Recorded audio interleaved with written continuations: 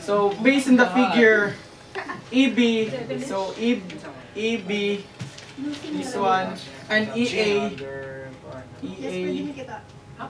So, EB plus EA is the same as AB. So, so, so the outcome would be AB over AC. So the, so, so the problem AB, so the equation AB over AC is equal to sine 20 sec 36 cos 34 plus cos 20 sec 36 is equal.